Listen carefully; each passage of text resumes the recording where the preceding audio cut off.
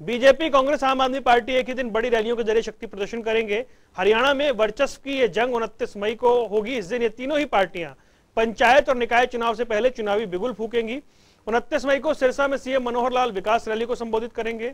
नेता प्रतिपक्ष भूपेंद्र सिंह हुड्डा उनतीस मई को विपक्ष आपके समक्ष कार्यक्रम फतेहाबाद में कर सत्ता के खिलाफ अपनी धार, अपनी रणनीति को और तेज करेंगे। वहीं उनतीस तारीख को कुरुक्षेत्र की धरती से आम आदमी पार्टी अब बदलेगा हरियाणा रैली का आयोजन करने जा रही है। दिन। रविवार। तारीख। उनतीस मई। खासियत। राजनीति का बड़ा दिन। क्या होगा?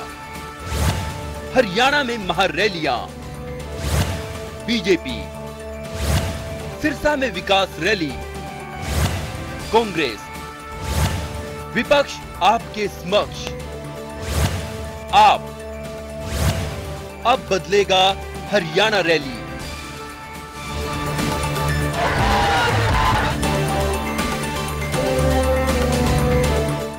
हरियाणा का सियासी मंच तैयार हो रहा है। दिन और तारीख सब तय हो चुके हैं। सत्ता पक्ष से लेकर विपक्षी दलों के योद्धा सियासी मैदान मारने के लिए रणनीति बना रहे हैं। पंचायत और निकाय चुनाव की रणभेरी बजने के बाद अब सूबे के राजनीतिक दल सक्रिय हो गए हैं। हरियाणा में सत्तारूढ़ बीजेपी से लेकर कांग्रेस और सियासी ज़मीन तलाश रही आम आदमी पार्टी नगर निकाय चुनाव के लिए तैयार है। निकाय चुनाव से पहले सूबे में सियासी तूफ़ान उठाने के लिए उनतीस मई का दिन बेहद बड़ा रहेगा, क्योंकि इस दिन बीजेपी, कांग्रेस और आम आदमी पार्टी की महारैलियाँ होंगी। राज्य में उनतीस मई को मुख्यमंत्री मनोहर लाल, पूर्व सीएम भूपेंद्र सिंह हुड्डा और आम आदमी पार्टी के प्रमुख अरविंद केजरीवाल बड़ी रैलियों के ज़रिए सियासी हुकार भरते नज़र आएँगे। हरियाणा के सीएम मनोहर लाल उनतीस मई को सिरसा में विकास रैली को संबोधित करेंगे। सिरसा में होने वाली ये रैली ऐतिहासिक होगी। ज़िले के लोगों को करोड़ों रुपए के विकास कार्यों की सौगात मिलेगी। प्रदेश कांग्रेस में नेतृत्व के संकट में बड़ी भूमिका में नज़र आए भूपेंद्र सिंह हुड्डा। विपक्ष आपके समक्ष कार्यक्रम के तहत फतेहाबाद में मौजूदगी दर्ज कराएँगे।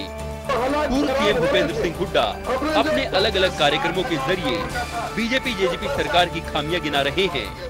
हाल ही में हुड्डा के वफादार माने जाने वाले उदय भान को हरियाणा प्रदेश कांग्रेस कमेटी का प्रमुख बनाया गया है।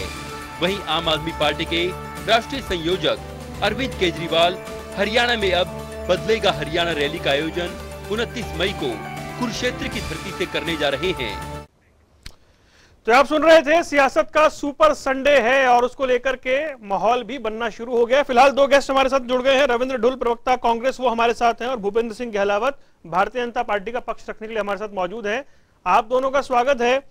ढुल साहब, क्यों कांग्रेस में कोई कार्यक्रम सीधा सीधा नहीं हो जाता? भाई आपको, अब आप तो ठीक ठाक अनुभव भी है आपका। ये क्यों एक विवाद आ गया पोस्टर का और क्यों सफ़ाई तक देनी पड़ गई? बंसल साहब जनता टीवी से कह रहे हैं, वो कोरा कागज़ नहीं था जो मैंने लिखा था और मिजाज ही बिगड़े हुए हैं प्रदेश के। देखिए एक बड़ी महत्वपूर्ण चीज़ ये है कि बड़े लंबे समय से यहाँ पर संगठन भी इनएक्टिव था और तरह तरह की बातें जो है निजी पार्टी के मंच में जाने की जगह सार्वजनिक मंच पर जाती रही हम्म। तो उस कारण से कहीं ना कहीं मुझे लगता है कि इस प्रकार के कंफ्यूजन पैदा होते हैं बाकी जहाँ तक हमारे प्रदेश प्रभारी की बात है उनका कोई भी आदेश पूरी तरह से सर्वमान्य है। मुझे नहीं लगता कि उनके आदेश के ऊपर किसी प्रकार की कोई डिस्प्यूट या कोई आपत्ति किसी को भी होगी चाहे वो नेता कोई भी हो बड़े हों या छोटे हों। हम्म। उनकी जो भी बात होगी उनकी बातों को माना जाएगा पहली बात। और दूसरी बात जहाँ तक बात कार्यक्रम की है तो उनतीस तारीख का कार्यक्रम सफल होगा। निश्चित तौर पर आप खुद मेरे हिसाब से आपकी टीम भी वहाँ कवरेज के लिए जाएगी तो आप देख सकते हैं उसे। अगर कुछ दिन पहले हमने बात की थी आपको याद हो तो हम कह रहे थे कि तुलना ज़रूर होगी। उसमें कहीं कोई राय नहीं है कि भाई तीनों कार्यक्रम में तुलना होने वाली है। तो भीड़ के लिहाज से भी कार्यक्रम बड़ा महत्वपूर्ण है और दबाव रहेगा नेताओं पर बसें भर भर कर लाने का। निश्चित तौर पर निश्चित तौर पर होगी। देखिए एक बात तो मैं समझिए तुलना तुलना होगी। अब अब सरकार में तो कांग्रेस है नहीं, विपक्ष में है तो हमारे तो कार्यकर्ता ही आएँगे या हमें सुनने वाले जो चाहने वाले कांग्रेस पार्टी की विचारधारा से जुड़े हुए लोग हैं, वही आएँगे। भारतीय जनता पार्टी की सरकार है, क्योंकि तो सरकार तो सरकारी तंत्र के हिसाब से भी अपने लोगों को लाने का प्रयास करेगी, पहले भी कॉन्ट्रोवर्सी इस प्रकार की रही है। बाकी मुझे नहीं लगता कि कांग्रेस के कार्यक्रम से किसी भी कार्यक्रम की कोई तुलना हो पाएगी, इस बात को लेकर के हम पूरी तरह से निश्चिंत हैं। ठीक है। गहलावत साहब आवाज़ मिल रही है आपको मेरी? कम मिल रही है थोड़ी आवाज़ कम मिल रही है। अभी ठीक आ रही है सर? मेरे को तो बिल्कुल ठीक आ रही है आपकी आवाज़। हाँ अभी ठीक आ रही है। जी गहलावत साहब तुलना होगी क्या? कांग्रेस का कार्यक्रम आम आदमी पार्टी का और आपका कार्यक्रम एक ही दिन? देखिए मैं तो ये कहूँगा एक तो भारतीय जनता पार्टी का प्रोग्राम है हम्म। और एक आम आदमी पार्टी का है। हम्म। और जो तीसरा प्रोग्राम है वो कांग्रेस पार्टी का नहीं है।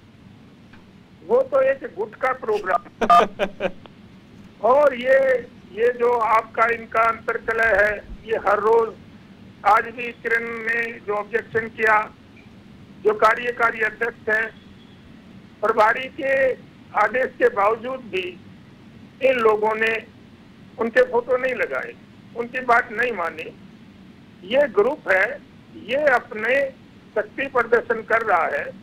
कांग्रेस के अंदर कब्जा करने के लिए इनका झगड़ा अभी कोई बीजेपी से आम आदमी पार्टी से और किसी से नहीं है हम्म। ये तो अपनी ताकत दिखा के हम्म। और कांग्रेस पार्टी को पूरी तरह से हड़पने के लिए प्रयास हो रहा है हम्म। और इनका भारतीय जनता पार्टी से कोई मुकाबला नहीं है कांग्रेस पार्टी का हरियाणा में भी और राष्ट्रीय स्तर भी जनाधार खत्म हो गया और ये कोई एक ये सारे इसके उसमें फंसे हुए हैं इनके ऊपर केस चले हुए हैं ये तो अपना अस्तित्व बचाने के लिए ये रैलियाँ वगैरह कर रहे हैं ताकि लोगों जलाओ साहब मेरे मेरे मूल प्रश्न पर नहीं आया आप तुलना होगी भीड़ की भीड़ से तो फिर तुलना होगी किसके यहाँ ज़्यादा लोग जुटे देखिए देखिए मैं तो ये कहता हूँ किसी भी पार्टी का जो पैमाना होता है हम्म। ये मेरी पर्सनल राय है हम्म। कि भीड़ से उसकी तुलना नहीं होती हम्म। हमारी पार्टी ने जो काम किए हैं हमारी सरकार जो काम कर रही है हम्म। और वो दूसरी सरकारें ने जो काम किए या जो काम करने की बात करती हैं हम्म। उससे उसकी तुलना होनी चाहिए भीड़ तो कोई भी किराए पे लाके इकट्ठी कर सकता है पीछे भी इन्होंने जब चंडीगढ़ में इसको ये जो अध्यक्ष बनाया था इसको लेके गए थे वहाँ लोगों ने उससे ध्यान दिए थे कि हमारे को पाँच सौ पाँच सौ रुपये लेके लाया गया है ये कोई भीड़ का भीड़ जुटाना मैं ये समझ रहा हूँ कोई ऐसी बात नहीं है।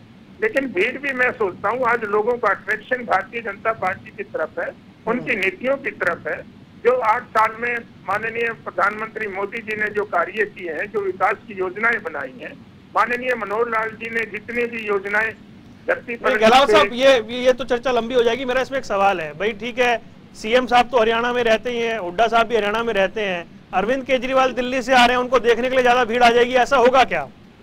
नहीं नहीं नहीं नहीं नहीं, ऐसा नहीं होगा। क्योंकि केजरीवाल जी तो एक ड्रामेबाज पार्टी के मुखिया हैं, वो खुद भी ड्रामा करते रहते हैं।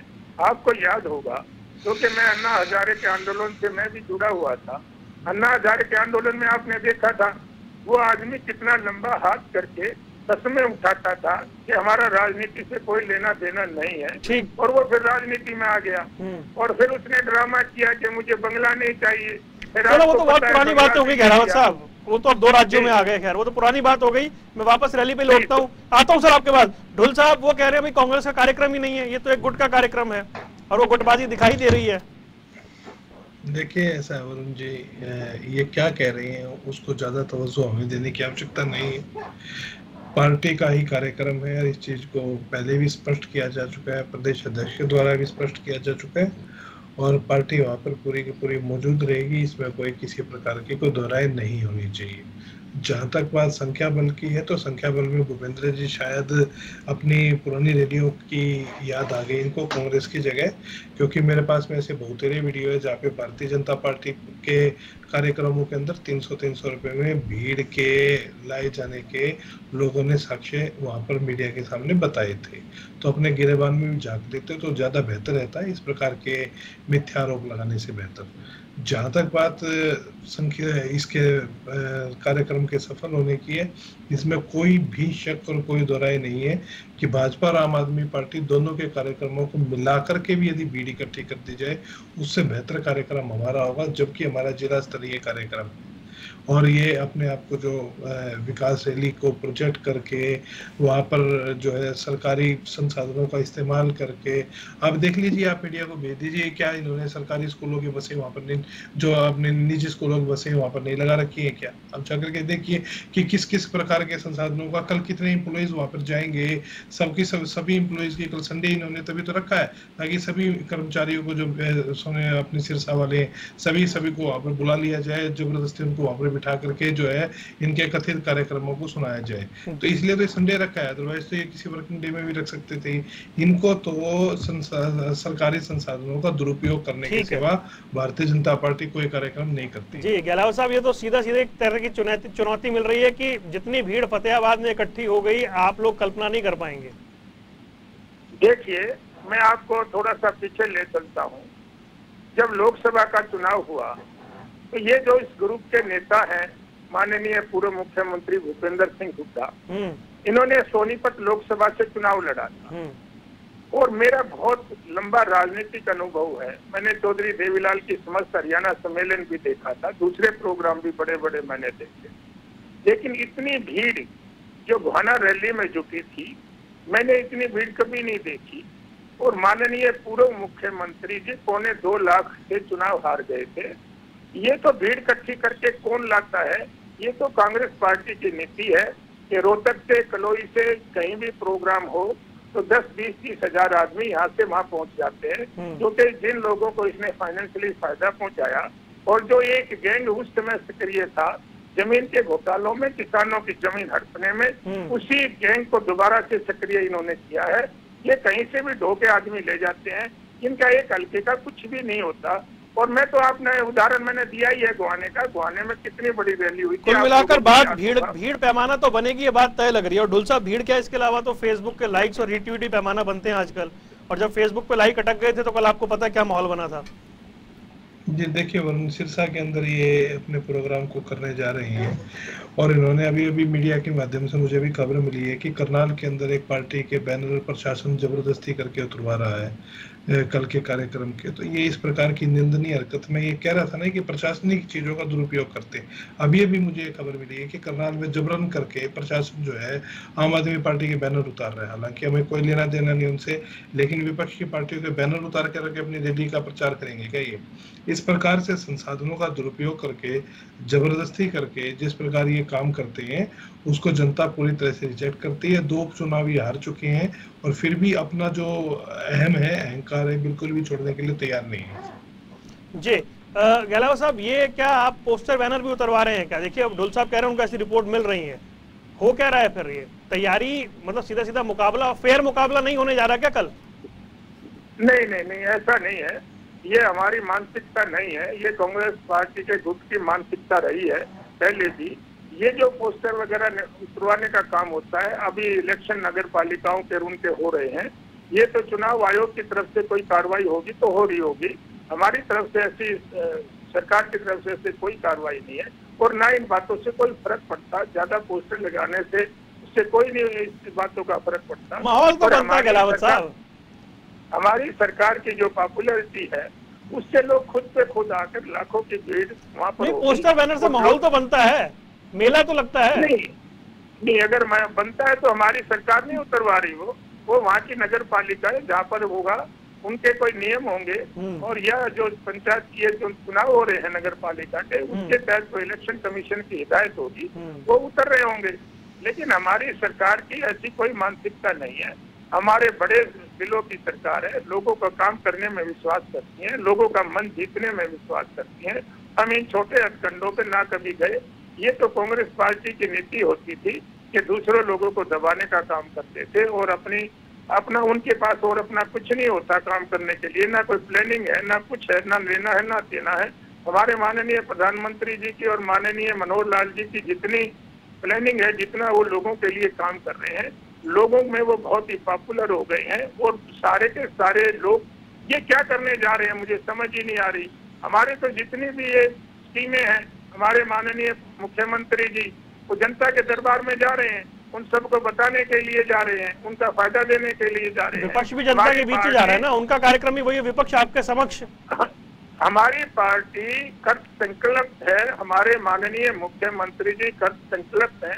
ये जो आखिरी लाइन में गरीब से गरीब आदमी बैठा है हम्म। उस तक हम पहुँचेंगे। जो कांग्रेस के राज में ये दलाली का जो सिस्टम था उसका हमारी सरकार ने खत्म किया है और सारा का सारा काम हम ऑनलाइन करने बोले साहब। हम मैं तो इनके सांसद को कोट करूँगा अरविंद शर्मा जी को इनको पता है भूपेंद्र जी उसका उत्तर दे पाएँगे या नहीं दे पाएँगे? सांसद ने क्या कहा था साहब जवाब दे देते हैं मीडिया के सामने। बता देंगे अच्छी तरह से इनको बताना चाहिए कि वर्तमान सरकार के ऊपर किस प्रकार के गंभीर आरोप इनके खुद के सांसद ने लगाए उसके बारे में इनका क्या कहना है? ये बताएँ।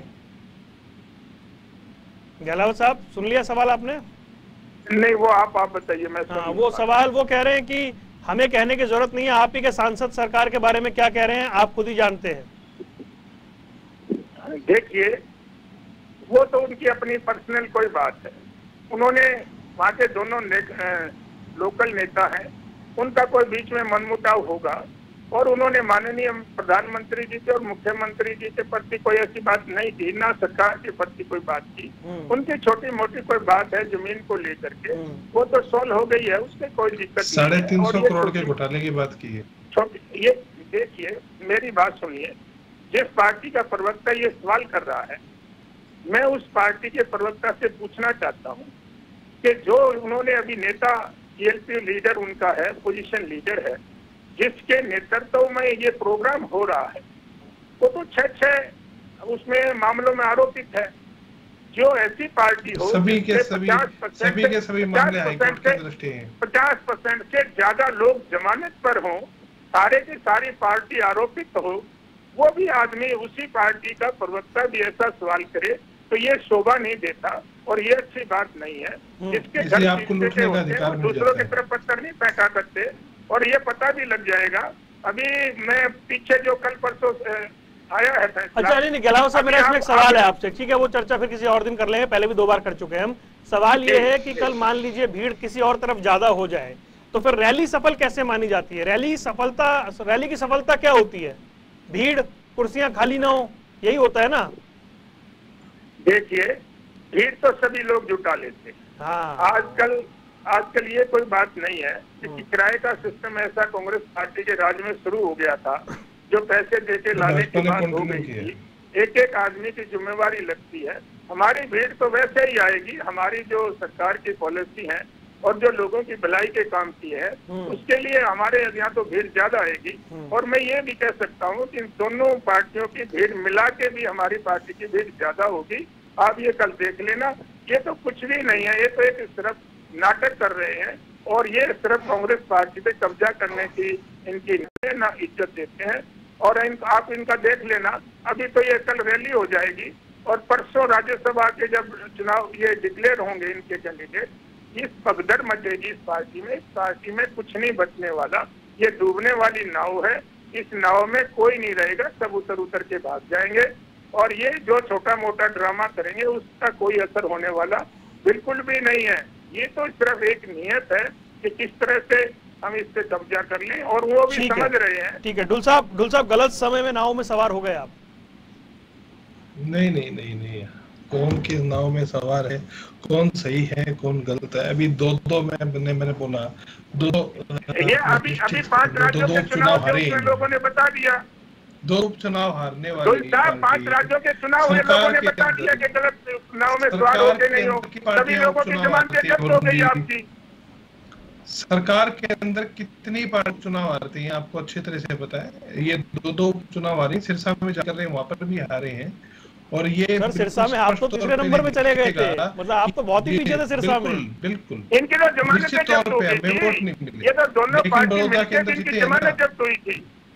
अरे भैया रैली साज में तो बोले में एक क्या बोले? जीते अरे हैं साज बोले छाननी और क्या बोले? जिसके जमाने हारे हैं इनको अपनी तरफ़ सोचना चाहिए। सरकार को अपनी बातों के ऊपर सोचना चाहिए कि जनता सरकार अपना जो है तो जनता के प्रति हमारा कॉन्फिडेंस कैसे खो गई? सरकार क्यों इतना हैं, कॉन्फिडेंस खो गई? लेकिन डुल साहब। इसमें मेरा सवाल है ठीक है मैं इतना पीछे जा नहीं रहा था डुल साहब लेकिन जो दोनों सीटें हारे हैं मेरे ख्याल से वो दोनों सीटें हारने से कांग्रेस की बीजेपी कोई सीट माइनस तो नहीं हुई। दोनों सीटें बीजेपी के पास तो नहीं थी वो। बिल्कुल बिल्कुल ना हो बिल्कुल मैं मानता हूँ नहीं मैं तो बिल्कुल मानता हूँ। लेकिन सरकार अपना आधार बढ़ाए ना। हम्म। मैं यही तो कह रहा हूँ कि सरकार अपना आधार क्यों नहीं बढ़ाती अरे भैया वोट परसेंटेज बढ़ा क्यों है और आधार बढ़ाती है? कैसे तो ये कैसी बात करते हैं? बैठ करके कैसे बढ़ेगा जो है हमारा वोट परसेंटेज कितना बढ़ा है? देखिए मैं ये तो कह रहा हूँ ना अब इनको ये मुद्दे के ऊपर बात नहीं करेंगे। जब मैंने करप्शन का मुद्दा उठाया है ये बात करें दो नेताओं के बीच की बात है। इन बातों में कुछ नहीं करप्शन का मुद्दा कौन उठा हम रहा है? विपक्ष का कार्यक्रम है विपक्ष का कार्यक्रम रहे हम समस्या जनता की समस्या लेकर के जनता के बीच में जा रही हैं। आपने झूठे केस दर्ज करवा दिए हो किसी के ऊपर तो वो जमानत नहीं लेगा तो क्या करेगा?